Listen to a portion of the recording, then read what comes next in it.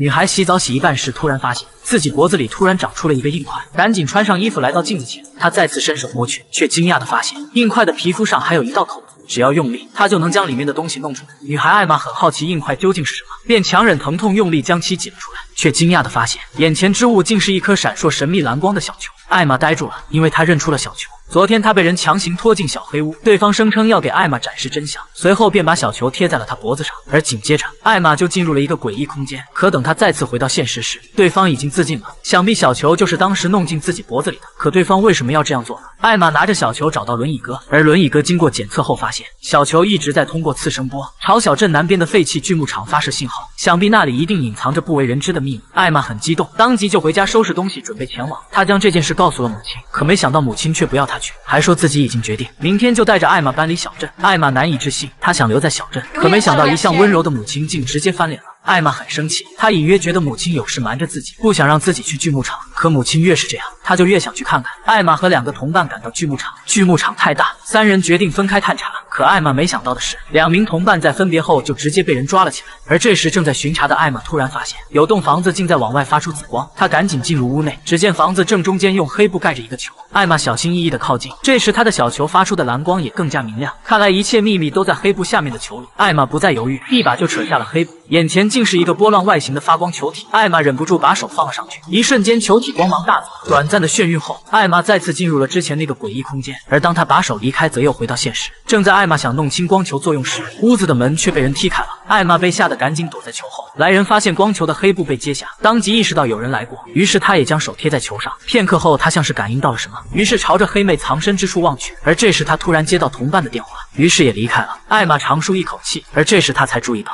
昨天自杀的人现在已经出现在了球下，并成为光球的养料。艾玛赶紧往外走，他这才发现被抓起来的同伴。为了救两人，艾玛触发了汽车警报，这成功吸引到了屋内人的注意。而小帅和小美则立刻趁乱离开。他们来到车上，发现艾玛还没回来。小美立刻打电话要轮椅男定位艾玛位置，可轮椅男却说艾玛早就离开了。小美两人这才发动汽车离开，但其实艾玛正躲在房子后面，看着两人抛下自己离开，她慌了。